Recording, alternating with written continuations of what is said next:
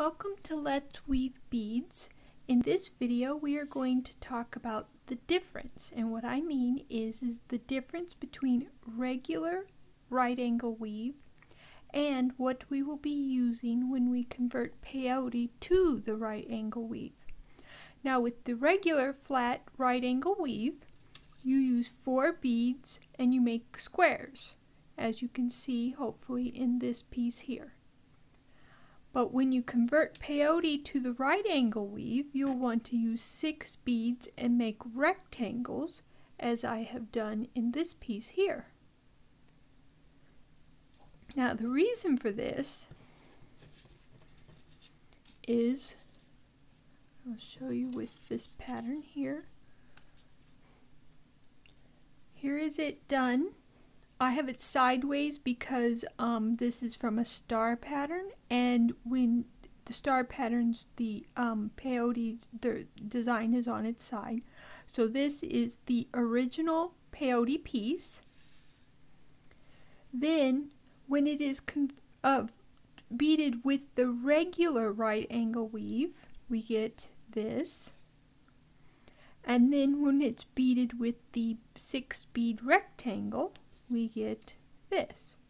Now, when you take the original and you put it on top of the one that is beaded with the regular right angle weave, you see that the length is about the same, but the height is longer. So that means the proportions are not um, accurate. So that's why we need to do the six bead rectangle because when you put this on here you can see that it is pretty much proportionately larger all the way around. So um, that is why we need to do the six bead rectangle. Now when reading a pattern for this, I've drawn here for the first um, set, you would do one bead for here, and then you'd add two beads for this one and then you'd do one bead here and then you'd add two beads for this one. So that would be two beads for here one for here and two for here. And then you would continue that throughout. You do two then one and two. And again two and one and two and then you when you turn you would do that you'd do the same. These would all be one. This whole road going down are all one. And then this would be two. Same. And this would be one.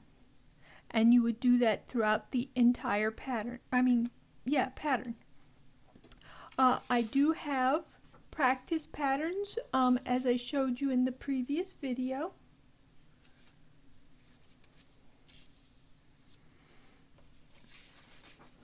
I should put the patterns down first.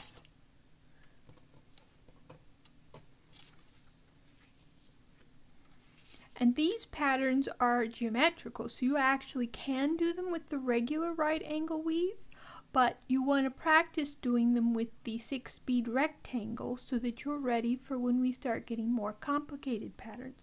And here I have done a bracelet with these four patterns, all done with the six bead rectangle.